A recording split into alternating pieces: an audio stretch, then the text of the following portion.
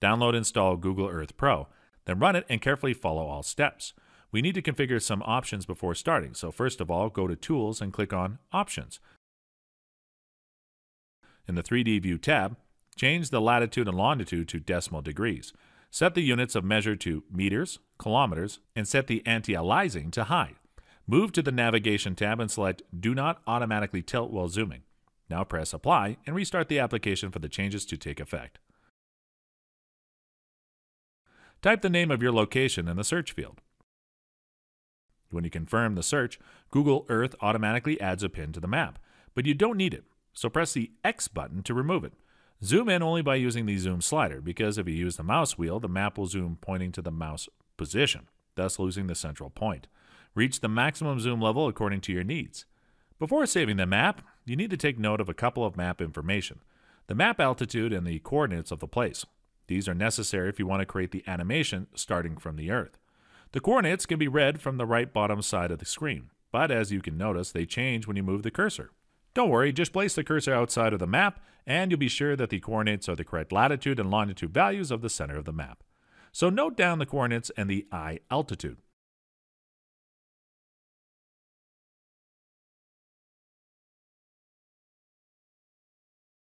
Now press the Save button. But before confirming it, change the resolution to 3840 by 2160 and untick all elements in the map options. Finally, press the Save Image button. Choose a folder and call the image 1.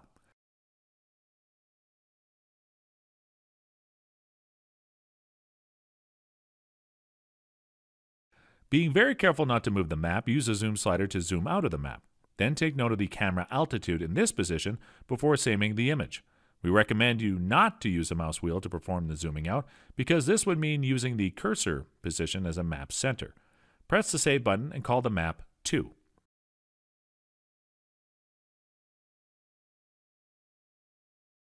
Again, zoom out. Always remember to take note of the altitude and save image 3. Repeat this task in order to save six maps images from different altitudes. Okay, you could ask, how do I know how much I should zoom out? And the answer is, it doesn't matter, because as you will see, when you'll type the map's altitude in the After Effects project, it will automatically calculate the map's distance to perfectly merge them.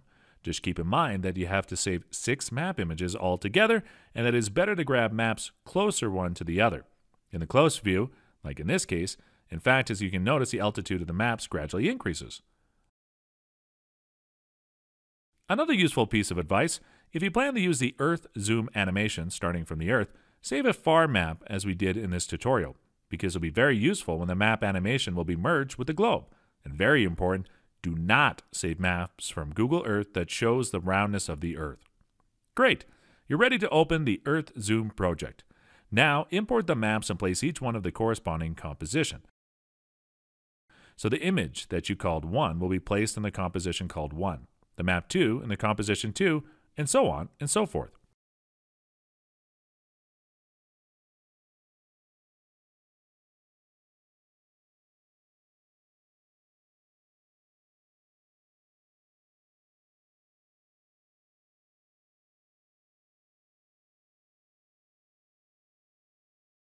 It's time to copy the altitude values. So open the map altitude composition and type the corresponding altitude values. Keep in mind that the unit of measure is kilometers. If the map unit is in meters, like in this example, you have to convert and type the value in kilometers.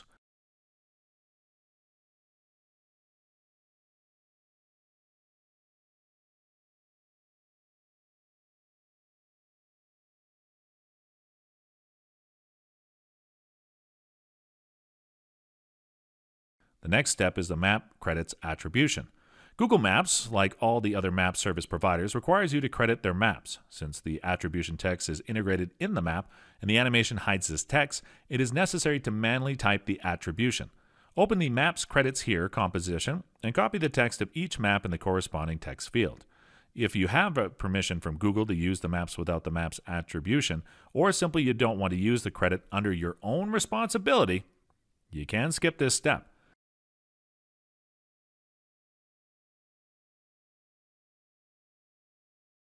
The main configuration is concluded. Now you can choose whether to use a simple map zoom or an earth zoom. Let's start with the map zoom. The speed of the animation is controlled by the start and end markers. So the closer the markers, the faster the animation. Furthermore, you can set the animation start, moving the start marker forward. The control layer has an effect called map settings with many options. The start altitude and end altitude set the starting and ending altitude points of the animation.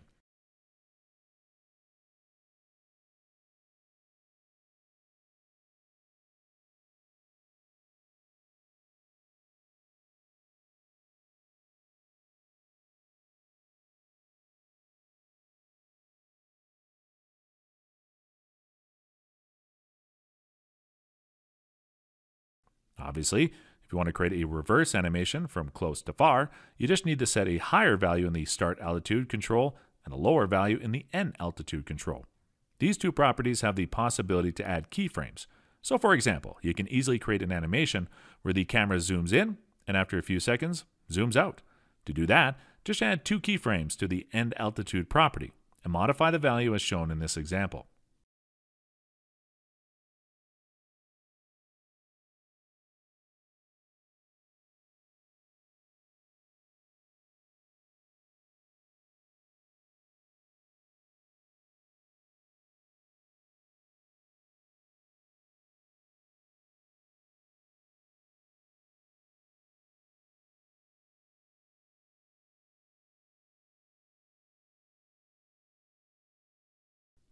Use the Clouds Amount slider to increase or decrease the amount of the clouds.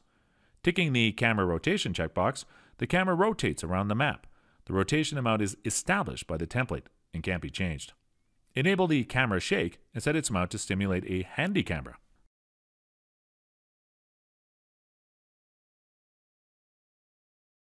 Finally, there's the Show Maps Credits control. It is active by default and it's used to enable or disable the map's credits. When the camera reaches your point of interest, you can add a pin, a callout, or both. Let's start with the pin. Enable the pin layer and move it in the timeline to sync the pin animation start time. If you also want to have a pin animation out, you just need to set the layer out point and the pin will automatically scale down.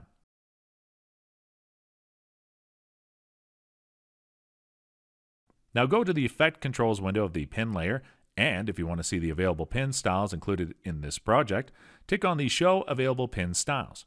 Select Pin from the Pin Style drop-down menu, and, if needed, customize its colors. Now untick the checkbox. If you want to use a callout, you have to open the composition called Callouts Catalog. Make a RAM preview to see all callouts animation, and make your choice.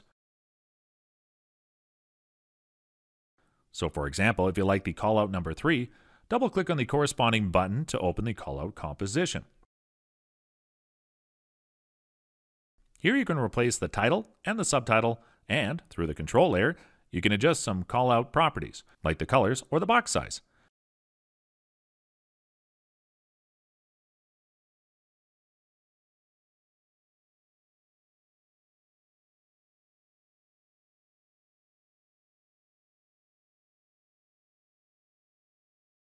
Now go back to the Map Zoom composition and select the callout layer. In the callout settings, simply choose the callout that you've just modified. In this case, it's callout number 3.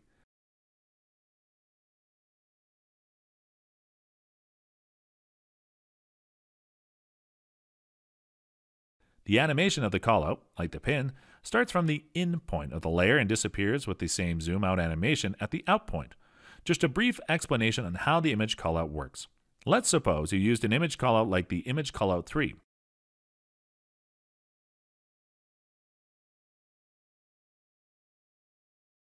As explained in the quick guide, import the image into the composition, position, and scale it to cover the gray shape.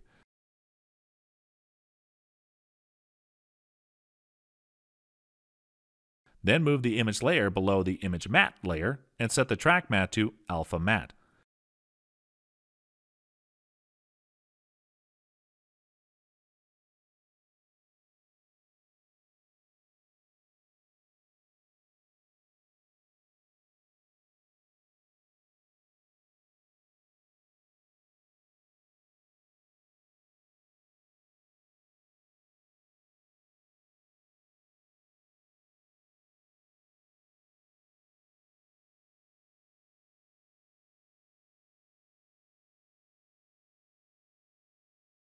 If you're looking for a more complex animation where you can zoom starting from the Earth, open the Earth Zoom composition. There's a control layer here as well, but within a different effect called Earth Zoom Settings. Let's talk about this effect. Before zooming to your desired point, you can decide to start from a different place. It could be useful to simulate a slow Earth rotation or show the distance between two points. Do you remember when you stored the coordinates of the map? Now these data are necessary to calculate the right rotation of the Earth. Copy the latitude and longitude values and the end coordinates values.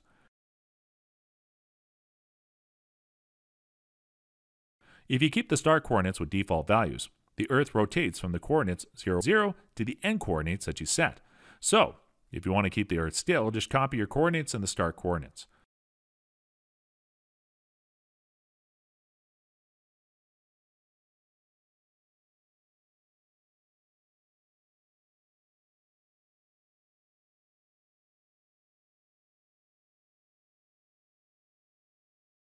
If you want to create a slow Earth rotation movement, just slightly change the longitude value.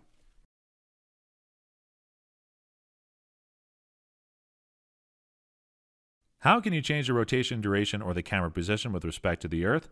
Open the Animation Settings group. As you can see, during the Earth rotation, the camera zooms in. This movement can be set adjusting the start and end camera zoom values.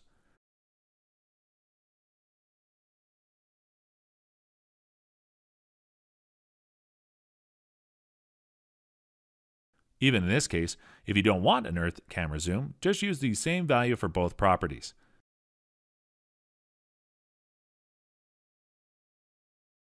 The rotation speed is determined by the rotation duration. The default value is 3 seconds. But if you want a slower rotation, just increase its time. This animation is made of two separated animations, the Earth zoom and the map zoom. In order to merge the camera zoom of the Earth with the camera zoom of the map, you have to set two different zoom durations. There's no guarantee that these values are identical because the different Earth and map altitudes affect the speed of the final animation.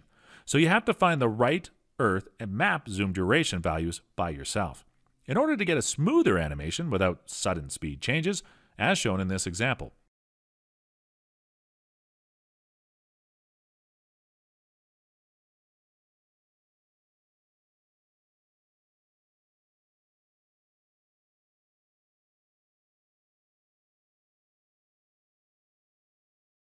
Before switching from the Earth zoom to the map zoom, the animation has a fast crossfade transition.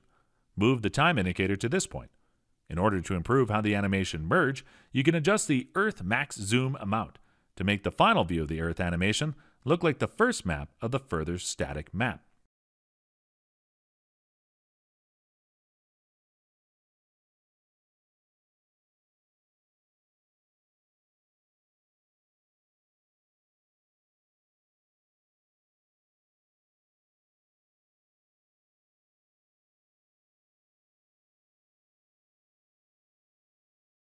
The map setting group includes all properties that we previously saw in the map zoom settings, in the map zoom composition, and they must be used to control the Earth map animation. Finally, you can control the appearance of the Earth. For example, you can change the angle of the sun that automatically affect the night lights areas, set the opacity of the clouds on the globe, show the universe or remove it to place your own background, and enable or disable the lights in the dark areas.